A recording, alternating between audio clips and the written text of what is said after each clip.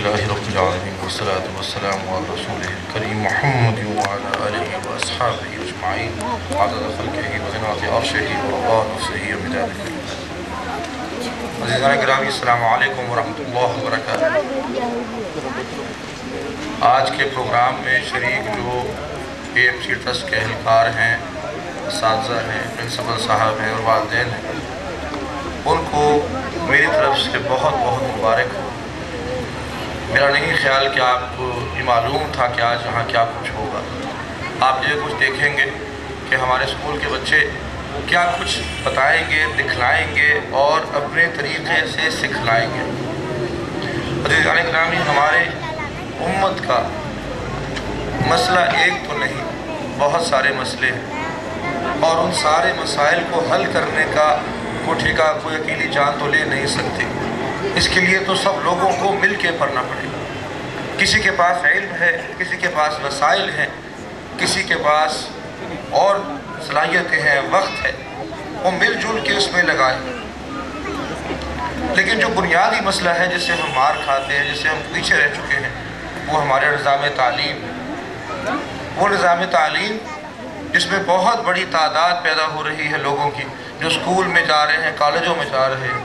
لیکن تربیہ سے، دین سے، دینی علوم سے، ان کی قدر سے، اس اخلاق سے خالی ہیں بہت یاد پڑتا ہے کہ ایک شیخ الحدیث کو آ کے وزیر تعلیم پاکستان نے کہا کہ مدارس کے لوگ بچارے دنیا کی تعلیم سے خالی ہیں کچھ جانتے نہیں ہیں۔ تو شیخ الحدیث نے جواب دیا کہ دو فیصد لوگ صرف پڑھتے ہیں مدارس۔ جو دینی علوم تو جانتے ہیں دنیوی علوم نہیں جانتے۔ لیکن اٹھانوے فیصد بچے سکولوں میں پڑھ رہے ہیں جو دین سے بے خبر ہیں۔ کبھی خیاتوں میں ان کا آیا ہے۔ وہ بہت بڑی تعداد ہے۔ ہمیں ضرورت ہے ایسے اداروں کی، ایسے سکولوں کی، ایسے کالجوں کی، جو ہمارے لیے بہترین مسلمان doctor, engineer, accountants, computer software engineers scientist پیدا کریں۔ لیکن اس کے ساتھ ساتھ وہ بہترین مسلمان بھی ہوں ان میں دینی اقدار ہوں۔ انہیں قدر ہو علماء کون ہے انہیں پتہ ہو کہ ہمارا دین کیا ہے۔ ان کا اخلاق، ان کا ملنا، جلنا، اٹھنا، بیٹھنا، سیرت کے مطابق۔ وہ یہ جانتے ہوں کہ اللہ تعالیٰ نے ہمیں اس دنیا میں کس مقصد کے لیے بھیجا ہے۔ صرف پیسہ اکٹھا کرنے کے لیے نہیں، بلکہ اپنی آخرت کا سامان کرنے کے لیے۔ یہ وہ کامل شخصیات تیار کرنے کے ادارے ہونے چاہیے جہاں پہ کہ دنیاوی تعلیم کے ساتھ ساتھ دینی علوم کی قدر بھی سکھائی یہاں بچے پڑھنے والے، اسکول میں پڑھنے والے، میں چاہتا ہوں کہ اس کی ایک اشکال جو کہ بہت سے والدین کے ذہن میں ہو سکتا ہے، اس کو آج دور کر دوں۔ ہم اس اسکول سے علماء تیار نہیں کرنا چاہتے، عالم تیار نہیں کر سکتے۔ یہ تو اسکول ہے، اس کے لیے مزارس موجود ہیں۔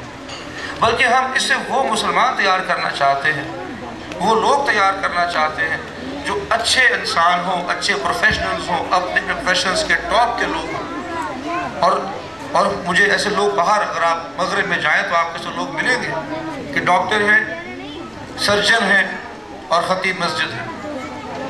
ہمیں ایسی شخصیات تیار کرنی پڑے گی۔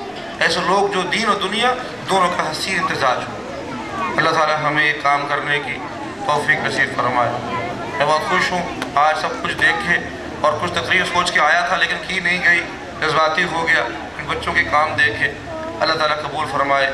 بس اس دعا کے ساتھ کہ ربنا تکبر منا۔